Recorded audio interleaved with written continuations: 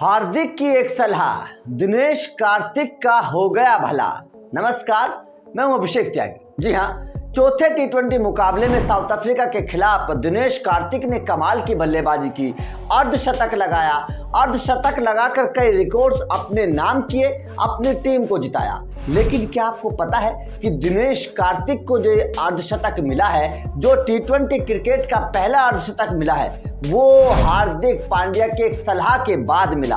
दरअसल आप लोगों को सबसे पहले जानकारी हम दे दें कि दिनेश कार्तिक के टी करियर का ये पहला अर्धशतक था। इससे पहले दिनेश कार्तिक टी करियर में अर्धशतक नहीं लगा पाए थे। लेकिन अब जब दिनेश कार्तिक ने पहला टी ट्वेंटी अर्धशतक लगाया तो इसके पीछे हार्दिक पांड्या की एक बहुत बड़ी सलाह थी। ये कार्तिक ने खुद बताया मैच के बाद जब उनसे पूछा गया कि आप जब क्रीज में अंदर गए थे आप जब मैदान में अंदर गए थे ऋषभ पंत के बाहर आउट होने के बाद तब क्या आपकी हार्दिक से बात हुई थी? क्या हार्दिक ने बोला था? तो दिनेश कार्तिक ने कहा कि जब मैं आ, मैदान में अंदर गया और खेलने के लिए रेडी था।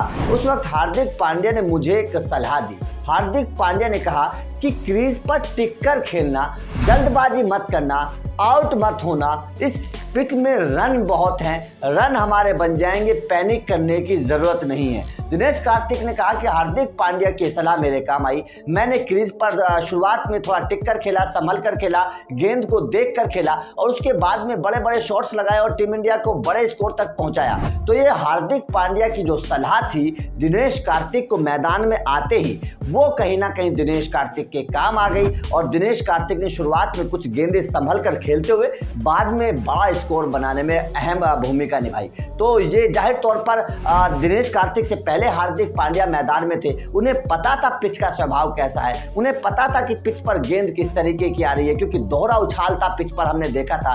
कोई गेंद नीचे थी, कोई गेंद ऊँची थी। इसीलिए उस बात को समझते हुए हार्दिक पांड्या ने दिनेश कार्तिक को समझाया और दिनेश कार्तिक ने फिर अर्धशतक लगाया, अपनी टीम को जिताया।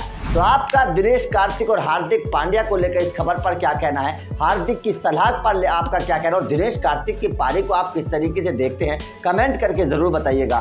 वीडियो अच्छी लगी तो लाइक करिएगा, शेयर करिएगा, चैनल को सब्सक्राइब ज़रूर करिएगा।